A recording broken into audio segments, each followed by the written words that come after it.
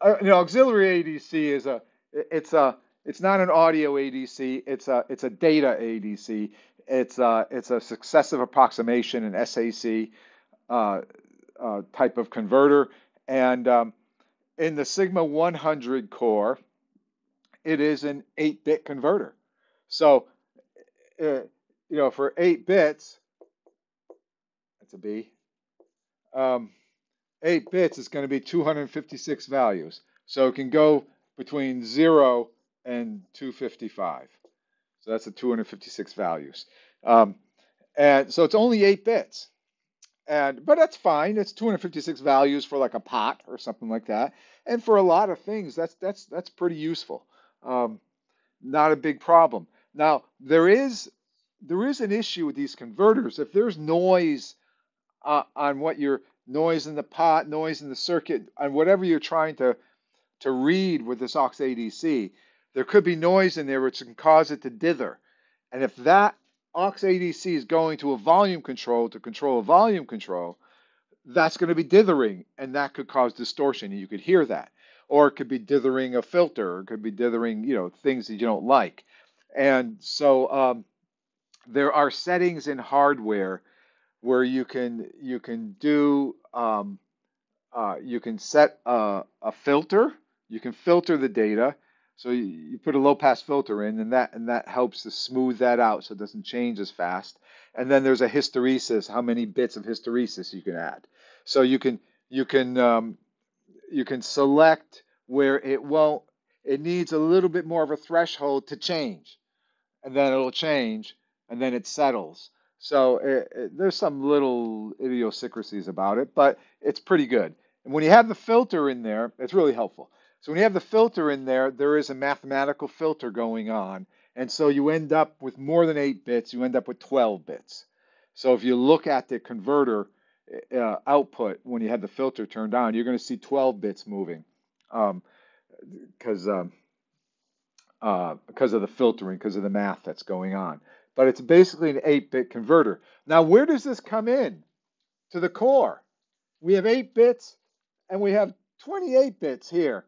Now, I had drawn the dot in here. It's probably a good thing to put the dot back in here. Dot. So, 5 dot 23. And so where does it come in, that converter? Where do the 8 bits end up? And it's funny that it, well, it ends up being here. One, two, three, four, five, six, seven, eight. Eight bits. It it doesn't quite reach. Well, I mean, it, it doesn't go negative. It only goes positive. It never reaches a one. The the, hard, the highest it goes is one, one, one, one, and then you know it depends on how the hysteresis is and the filter but it doesn't reach a one, which is handy to know because when you're going to control muxes and stuff like that, it's good to know you'll never reach a one, um, but you'll come awfully close. And it it left justifies it up. So the rest are either going to be zeros or garbage. You know, if it's the 12 bits, there's going to be some noise here for the extra few more bits of noise. Um, but the converter comes in pretty much right where you need it. If you're going to bring this to a volume control that expects to go with a 1.23 number between 0 and 1, this will give you it between 0 and almost 1. You know, pretty, pretty close to 1. And so that works great for a volume control. You can just take this aux ADC and send it right to the volume control. Um, likewise, a lot of tables will take a, a, a, a um, you can set them to take an integer number or you can set them to take a, um, a fractional number. And so therefore it'll be a dot 1.23. So that works out really good on the Sigma 100 cores. It's very simple to do. Just drop in the block, you know, literally the block that says aux ADC, you know, and you choose which one. There are four of them. And then, um, you know, I'd say aux ADC 0. And then we send it right to the volume control input, you know, so so volume. Um, so right, right to the control input. I'll have to show this to you in another video uh, or elsewhere in this video. They go to the volume control, and uh, you don't need to do any more processing. A lot of times I'll put in a read back right here so I can check to make sure this is working properly, and and I get my zero to 0.9999 um, proper levels going there. So, anyways, now in the let's go to the real hard one here. In the Sigma 200 cores, it's real easy. It, they don't have a they don't have an aux ADC. so we when we did the design of the Sigma 200 cores, we didn't add an aux ADC.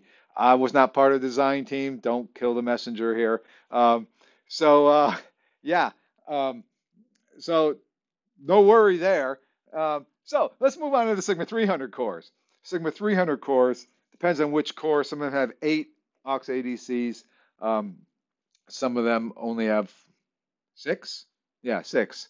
Uh, anyhow, um, the uh, that ADC, those ADCs, we improve them. Again, it's a it's a, a SAC successive approximation converter, uh, data converter going from zero to, in this case, 1024, because it's a 10-bit converter. Um, so it goes from zero to 1023, actually, zero to 1023. So it's a 10-bit converter. So a little bit more resolution, a little pretty good. Now, in this Sigma 300 core, where do the 10 bits come in? Now remember, this goes all the way up to 32. The, the dot is not here. The dot is here, one bit up. Because remember, it's a it's a 8 dot 24. So we have 24 bits. So we have 10 bits it comes in 0 to 9. Here's your 10 bits.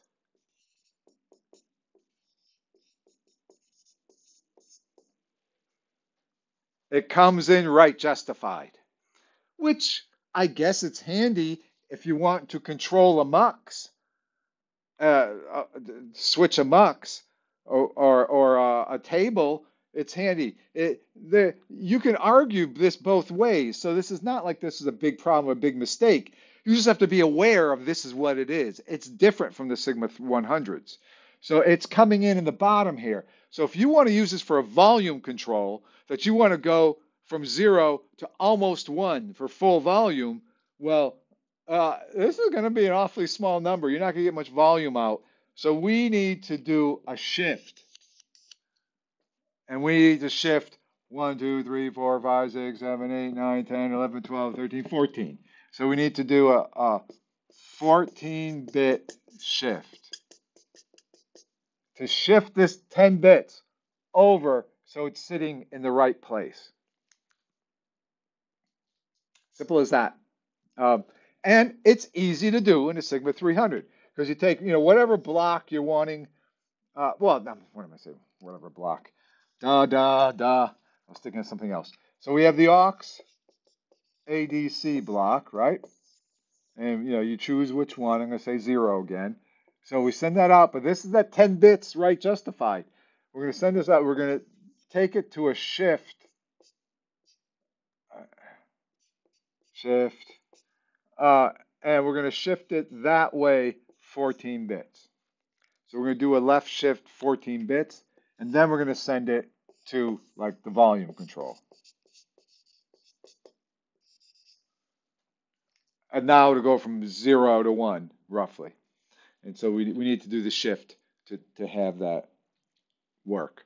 So that's how um, that works in the Sigma 300 cores. Um, but the aux ADCs are very super useful, um, subject for many other videos. Um, on how to use these things. And um, that's it. I think this is a good video. Um, don't forget to hit like and uh, press subscribe. uh, have a good day.